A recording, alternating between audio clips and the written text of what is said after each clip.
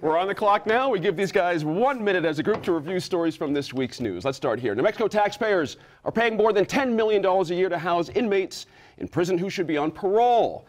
Many inmates in this position stay in prison for weeks at a time and sometimes months after they should have been set free. That's because New Mexico Corrections struggles to get inmates out of prison and onto parole. The biggest reason? Lack of staff to get the paperwork done in prison facilities. Bigger. Representative Moe Maestas and New Mexico Corrections Department Secretary Gregg Marcantel are working on legislation to reduce this problem. Rob, you wrote about this story. It seems so simple on the surface. Paperwork, it can't be that bad. What happened there? What did you discover?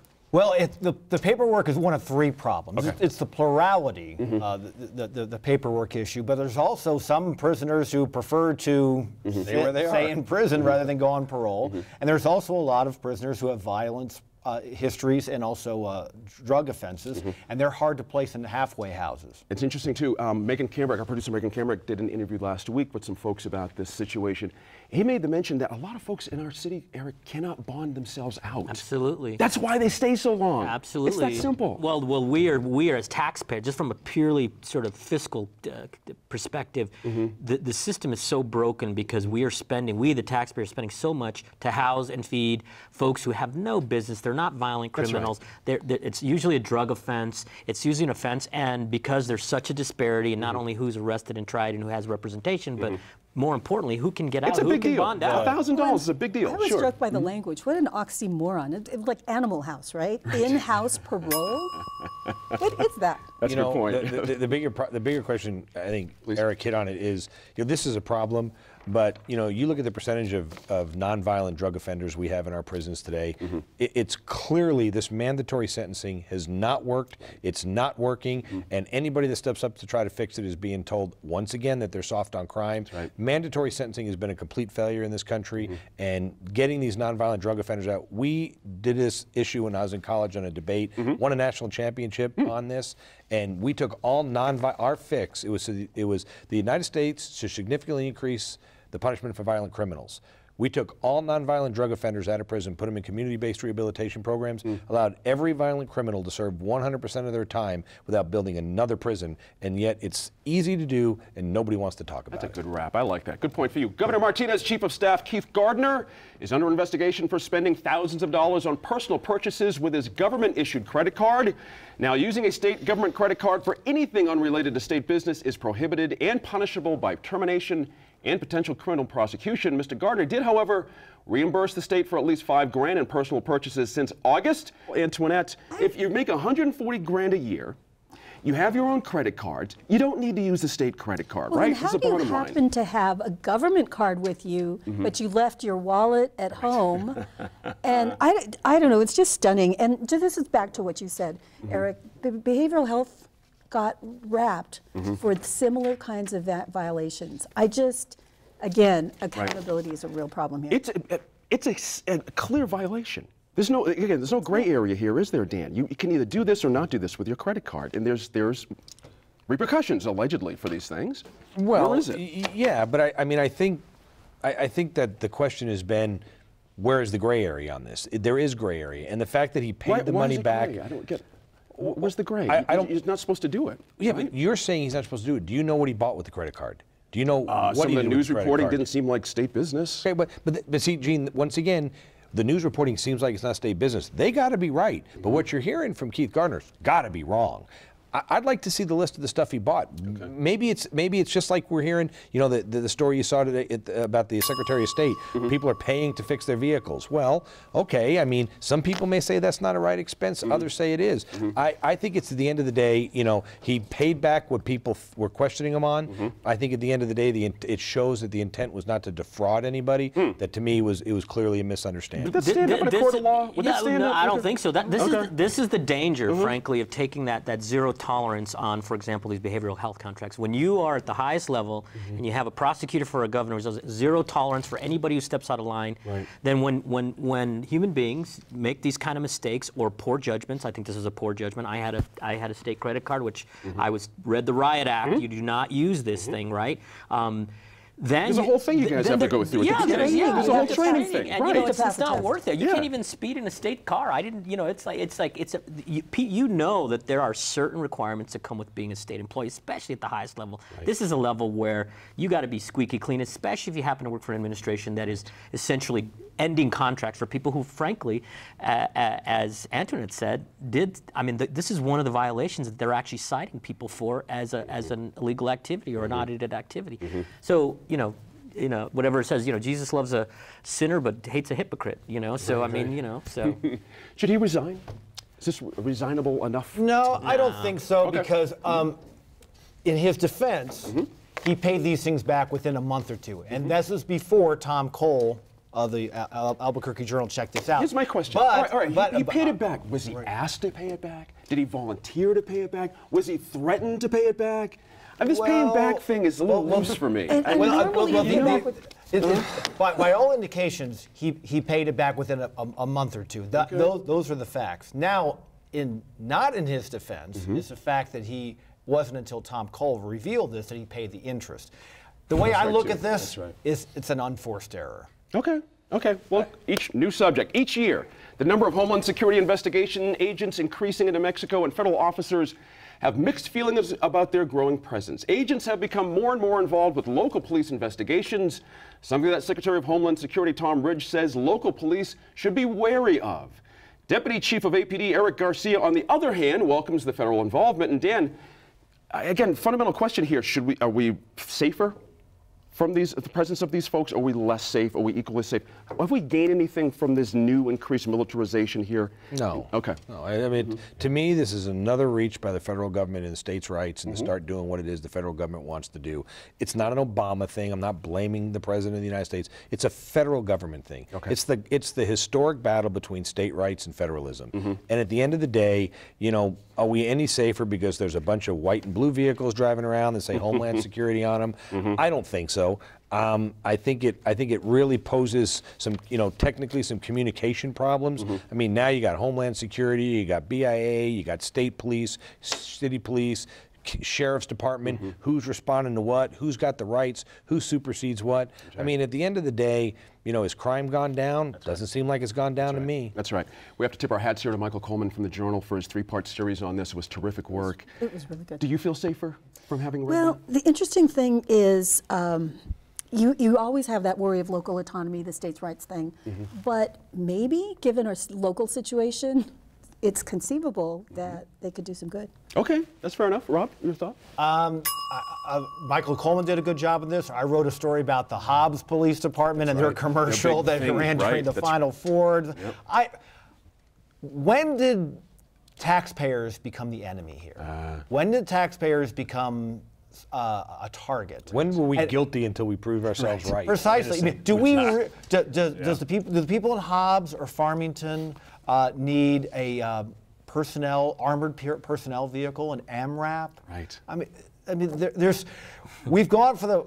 We've gone from from um, from a, a, a police department ethos of Andy Taylor, you know, thinking things through, being logical, Community service. to service. now Barney Fife. But Barney Fife is on steroids and he's armed with a teeth. That's right, Eric. What do you thought? I like the Barney Fife. The problem is, the problem is Bar- Barney Fife didn't have the taser, or uh, you know, didn't have, didn't have an AR-15. One bullet. exactly. One bullet. That's not. I'd, wel- I'd it goes welcome back to a. training. Maybe the federal agents are better trained. They're not. There's, they're not. There's no. Interesting. there- there- I mean, there's nothing that proves that they are. And again, it's a misnomer. They're from the federal government. They're here to help us. Believe it or not, we're on the clock. Got to get Eric in here for sorry. his 15 seconds. Go ahead. Your thought on this one? No, I just I just think that uh, there are multiple layers. I Mm-hmm. do think that there's an increasing role for some state or outside, given the problems we've had with APD. Mm-hmm. But I went to the federal post office the other day, and uh, it was on, it was sort of on lockdown. I mean, just I mean, you know, Homeland Security, so I could go like pick up a. a you know, I think Governor. I think Governor Right. Barnett was on his way to the post office, and they were making it secure for and him. I just I couldn't believe it. I'm like, have we really come to this? You know, You know, it's, it's unnerving. Sad. Just a day after the Silver City Daily Press was said to publish in the last edition, the community revived the long-standing publication with small loans and new ownership. The new owner, Nicholas Seibel, was able to purchase after members of the community pitched in with small loans, private investments. That's a great story. Mr. Seibel said he was unable to convince big-time investors, but when he merely mentioned his disappointment that the newspaper was closing, people in the community started offering money. Rob, I love this story. Community papers, people, you know, there's a bond there, clearly. People have a kinship with the paper and are willing to put some skin in the game. That's very, very cool. It's a good story. We, we- Yeah. the more voices, the better. But um, I'm a bit uh, uh, skeptical. Well, not skeptical is not very. Uh, I'm mm-hmm. I- I'm not an optimist when it mm-hmm. comes to what's going to happen with newspapers. People get so much information for free from the internet. It's it's a model just that that I would love to see work, but I mm-hmm. don't know if it It'll work there. It, it might work there? No, it's Okay. going to work there. Okay. It's going to work there because you have no other way about find, reading about your kid at Silver City High School or Cobre High School, Right. or seeing you know what your local politician's speaking at. The Albuquerque Journal isn't going to go down there. Mm-hmm. The TV stations aren't going to go down there. I went to college in Silver City. Your news comes from Arizona, living on that part of the state. Mm-hmm. Those folks now. The person that owns that newspaper, is he going to be a millionaire? Is he going to have a jet? Is he going to own a bunch of downtown property? No, but you're going to be able to pick that newspaper up and you're going to be able to find out what's going on in Silver City. And if you're passing through that town,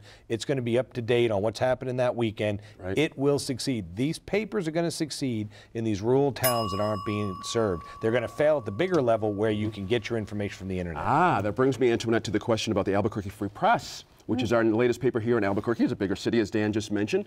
Do they have a, a, a tougher go of it, as Dan mentions, as opposed to a Silver City paper? Well, I'm really rooting for them. Yeah. Um, because I think you're right. The local papers can can make it because they're Mm-hmm. going to publish the results of the high school game, the Mm-hmm. football game. But if they can find their niche, Mm-hmm. and I really hope they do, I think there is a, a, a role for them. Yeah, Eric, that cover Well, was I, really something. I really, uh, you know, I have this very warm feeling for my home hometown paper, the Albuquerque Journal, as I'm sure many of us do. So uh, there's just that special place, the way they cover the community in an unbiased way. So, um, but um, no, I agree. I think that it's such a great story when the community comes together Mm-hmm. and realize, even though it's you know, it's it's it's a, it's going to be a remnant. You know, print, the print press, especially in small communities, sadly, is Mm-hmm. is going to go the way of the of the stagecoach. But um, but they're but they're. Uh, I just love the story. I was It- driving through Gallup a few weeks ago. Yeah. Speaking of Gallup again, stopped there to get some gas, grabbed by Teat. They had a local Gallup newspaper, opened, opened it up. There was literally eight pages to this newspaper. Six of them, front to back, bottom to top, pictures of the two basketball tournaments that Right. went in over Christmas. The whole paper right. was the basketball tournaments, and they were everywhere. People were reading them. I, people want the Albuquerque Journal's not going to cover the junior high track meet at Cobre High School. This paper is going to do it. Good point there. The new ride sharing service called Lyft, that's L Y F T, that's their name, has come to Albuquerque. Now, here's how it works drivers use their own cars, and rides are requested via a free app you get from Lyft. Very similar to Uber, that's U B E R, a ride sharing company that is also going to be expanding here in Albuquerque. Both companies have gotten great user reviews in other cities, but state transportation departments not as fond of the service, the New Mexico Public Regulation Commission's Transportation Division has launched an investigation of Lyft, stating it has not received the necessary paperwork. Eric, I, I'm kind of excited about this one because, it, like a piece of postmodern American life, it just landed here in Albuquerque. Just blam, just like that. My question is the PRC, though. I think these guys are going to have a tough time getting through the PRC. You know, I that- really do. This is one of those areas where the Mm-hmm. PRC, and I, I, I think there's a, an important place for, for oversight and regulation of, Mm-hmm. of, of anything affecting consumers. But in this case, you know, th- these guys are trying to bring some innovation. In Albuquerque, we have such a tough problem with right. taxis. It's That's been an right. issue forever and a day. We, Yep. if we want people to be safer when they're when they're using alcohol, if you want people to be able to get around, Mm-hmm. um, you know, this is a great solution. It's entrepreneurial. It's, Mm-hmm. and I just hope the PRC just doesn't, you know, sort of strangle it in its. It's in a its- moment, isn't it? We can either get with the new modern way of doing things, or like Jan Brewer just did in Arizona. We won't. Where she vetoed all the legislation that would have helped these two particular companies. They're out of business now in Arizona. It's sort of a, an outgrowth of the of, of the of the modern technology and the internet. There's a the, in, in a lot of cities in New York and San mm-hmm. Francisco, for example, you can rent out your house. That's right. Uh, to or rent I was just in Denver, and they got those, those cars. I was watching them downtown. Yeah. You just walk up, and I guess if you're a member of this deal, Yes. you can get in the car and go. They- The they have car- smart I walk up, smart park it, cars go get coffee. City. He takes it. It also amazing, brings up the it? Yeah. point, you know, there it also brings up the issue of over licensing. I mean, Mm-hmm. there are there these people have competition and the competition doesn't want them in. That's right. There's a, there's a monopoly here in town. Absolutely. I'm using that fairly, but it, it is what it is, and we're going to see what happens with Yeah, that. and it made Mm-hmm. me think, well, what is the role of the PRC? Because the legal issue is going to be, is this ride sharing or is this a carrier? That's right. And are they going to be overreaching by dealing with this new approach? Because ride sharing isn't regulated. Mm-hmm. Should it? And I don't think it should be. No. It'll be interesting. There's a you know there's a great story. A friend of mine who's a lawyer in town talks about one day that his son had some schoolmates who went out and bought two limos. They saved up all their money and bought two limos and wanted to start a limo business in mm-hmm. Albuquerque. Mm-hmm. They went and filed to get the limo. They went to the PRC. Well, guess what? The PRC takes comment from the other limo guys. The other limo guy said, "We don't need any more limos." They denied the kids these license. That's the way this system in New Mexico works. These guys are getting rave reviews. There is an oversight responsibility, yes, but until something rears its head that you should be worried about, uh, clearly these guys have a track record in other states. If they had come here and said, you know, they're responsible for deaths and mutilations and they're an unsafe company, That's right. you might say something. From what I, the little research I've done, they're getting rave reviews everywhere else.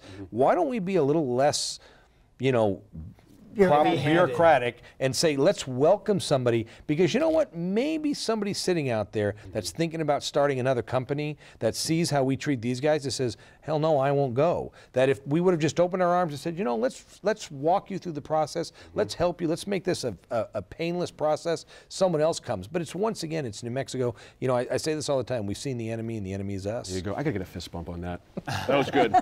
it's a postmodern moment. This is a put it up or shut it up moment. We're either gonna get with the program and move forward, and, and like Dan said, people will see other technology, people will see what we can accommodate, and act accordingly. and what is you know. the PRC? That's right. We'll see what happens. Thank you all for your time. We'll see you all Friday night, Channel 5.1, New Mexico in Focus.